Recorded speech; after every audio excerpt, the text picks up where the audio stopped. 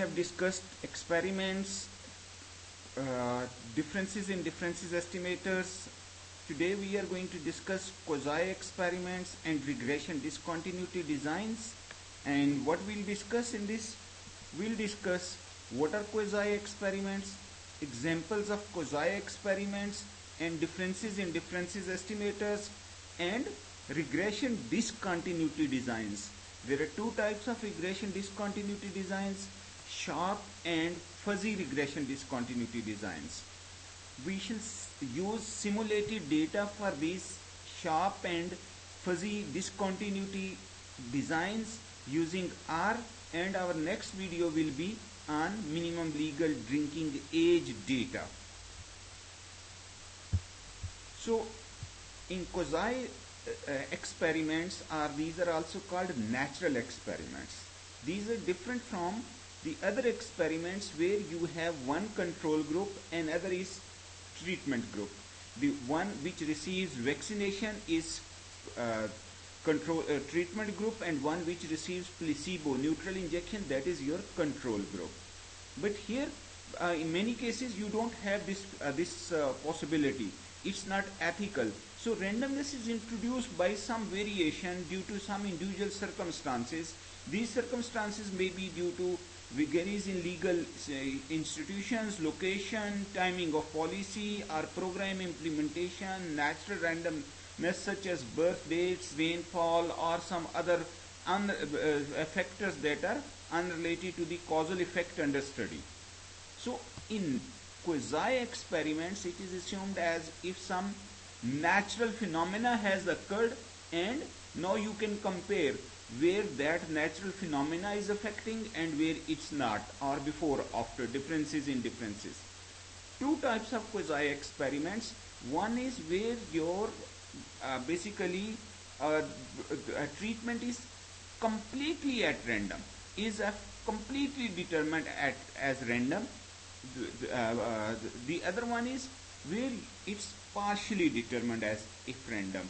So in first case we use OLS, in second case we use uh, instrumental variables 2SLS. Examples of quasi experiments. Uh, in this first example of quasi experiments, the treatment is as if randomly determined does immigration reduces wages. Economic theory suggests that as wages increases, labor supply increase.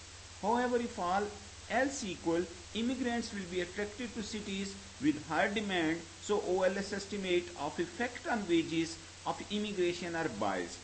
So you cannot have randomization, randomized control experiment in this case that you uh, distribute immigrants to one city uh, and uh, others to another city, another to another city to uh, carry out this experiment. Neither it is physical nor, nor it is ethical. So uh, there was a natural experiment which Card in 1990 studied that there was uh, relaxation on Cuba population for immigration to US. Half of that population settled in Miami and half in other cities.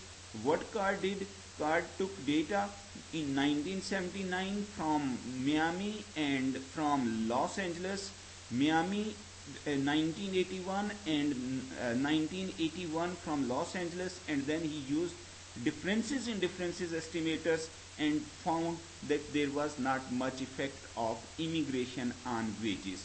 Another experiment was uh, from New Jersey and Pennsylvania uh, city that one state has increased wages, another state has not increased wages and it was found that in general wage increase does not affect your labor demand. Effects on uh, civilian earnings of military service. Does serving in the military improve your prospects on the labor market? So is it the case or is it military trainings or is it that those who join military service as officers are uh, they, they, they, they, get, they are already smarter than others. So again, the, uh, the first, this example was completely as if random. Here, these two are partially as if random. So you can estimate it by differences in differences. This one was uh, uh, uh, in Vietnam War. there was lottery method that if my name is included to serve in military, it, I have to serve, but again I have to fulfill some, uh, you see, physical criteria to be part of military service. So then that lottery method determines partially as if random. So you may use uh, 2SLS or that. I have given this example time and again in instrumental variable chapter and uh, pre, uh, in uh, uh, previous videos of this uh, chapter on experiments, distance to cardiac catheterization hospitals. So no, as we, we see that there is simul- there is endogeneity. How this endogeneity was addressed? You have basically distance to cardiac, uh, cardiac catheterization hospital as if random. So similarly, there uh, you see uh, there, there, are many other examples of quasi experiments the, in the field of economics, and these are very useful for social policies.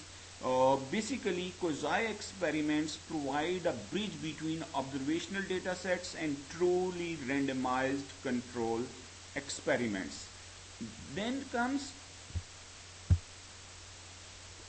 uh, the regression discontinuity designs is an example of quasi experiments. What are regression discontinuity designs?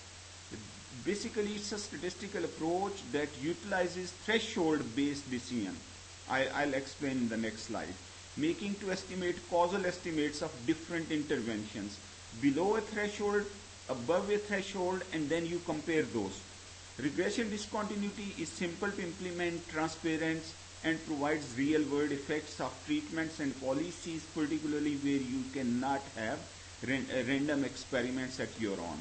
Graphical presentation and statistical analysis of data developed by psychologists but later on used in education and uh, uh, uh, labor economics.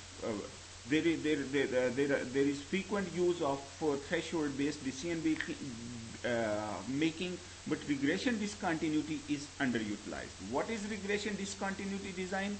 Let's see.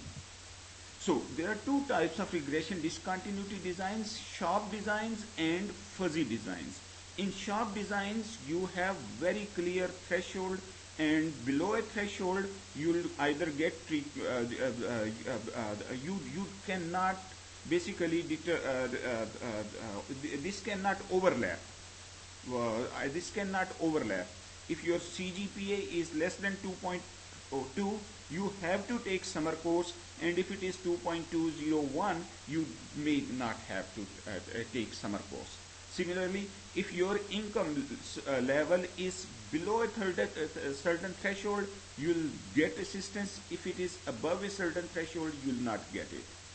Fuzzy designs, basically there is some crossover some may, uh, who should be in the, uh, the income support level, they get over and those uh, who are above that, they may get this. So basically probability of getting treatment may be slightly different for a slight oh, overlapping region.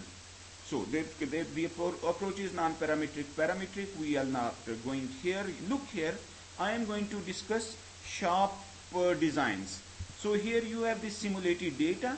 We have uh, this simulated data and uh,